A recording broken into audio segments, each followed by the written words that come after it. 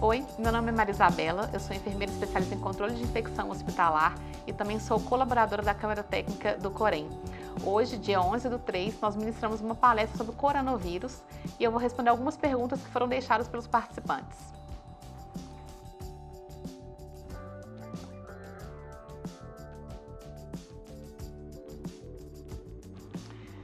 Tanto para os casos de paciente suspeito quanto casos confirmados da doença, devem ser utilizados máscara de procedimento, respirador, que é a máscara N95 com filtro PFF2, luvas de procedimento, avental impermeável, óculos ou máscara facial.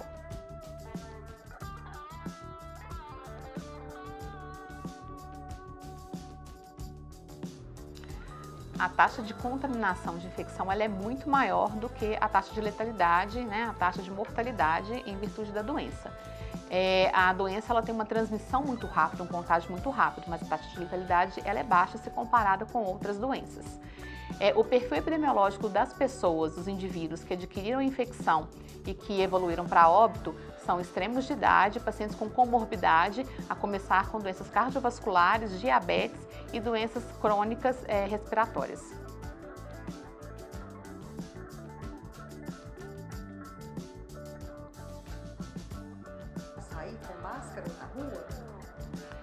A gente precisa pensar principalmente na etiqueta respiratória, na higienização de mãos, no cozimento dos alimentos, que são as principais formas de prevenção da doença.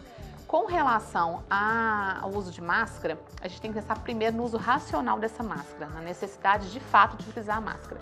No momento, não existe necessidade de andar nas ruas utilizando a máscara.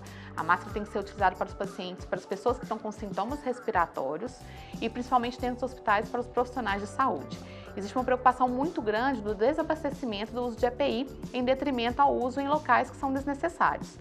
Então, é importante se proteger, é importante utilizar o EPI, mas que seja feito de forma racional.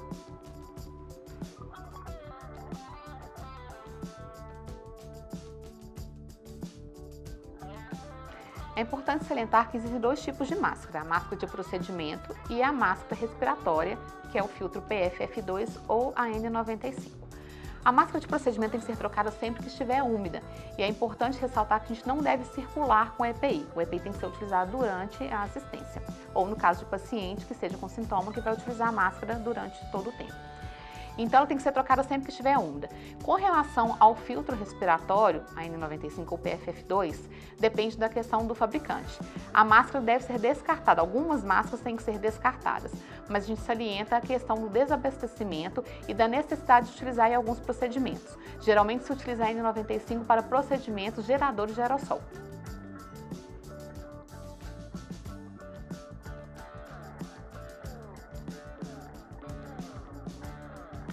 Todos os pacientes com sintomas respiratórios, seja por suspeita ou casos confirmados, devem permanecer em isolamento, seja ele domiciliar ou seja ele durante a internação. Eu saliento também que os pacientes com suspeita que vão procurar atendimento no pronto atendimento no pronto socorro, é, eles devem comunicar, né, na sua logo na sua entrada que possui sintoma respiratório para que ele possa ser triado para um consultório e evitar ficar em grandes aglomerações como acontece nos prontos atendimentos.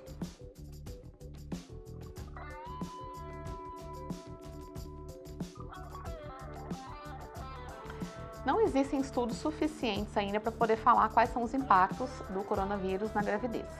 Fato é que o profissional de saúde que esteja trabalhando e esteja gestante tem que utilizar todos os EPIs e é possível que seja feito um remanejamento também para evitar a exposição desnecessária.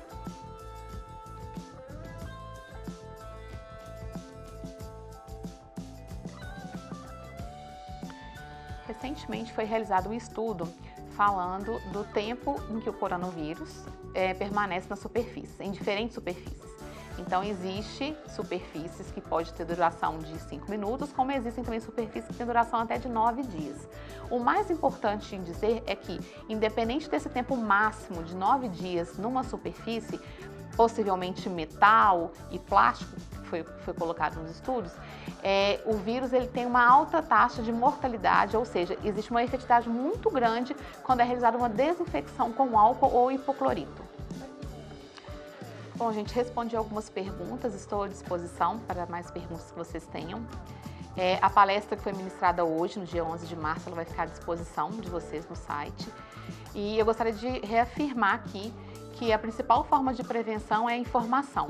Então, a equipe de enfermagem, que é a equipe que está na linha de frente, ela precisa estar sempre informada e atualizada, porque vai ser ela quem vai triar o paciente com sintomas. Então, é importante ter informação e ter um empoderamento, porque todo mundo pode ter informação, mas a gente tem que lembrar que a enfermagem está na linha de frente.